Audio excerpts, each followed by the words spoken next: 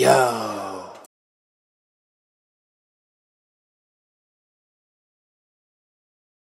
Hey, what's up, y'all? YS back at y'all. So I'm gonna give y'all my sports picks today.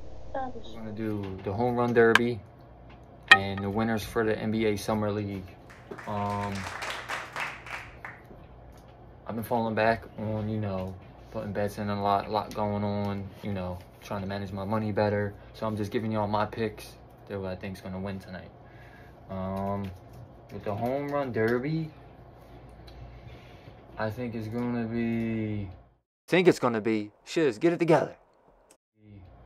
The top first player, I think he's on the Mets. It's either Pete Alonso or Gunnar Henderson. But why didn't Harper make it? If anything, I think Harper should have been the first person over Alec Bohm all day. You know what I'm saying? So, and then the NBA Summer League, I got the Sixers. Go Sixers!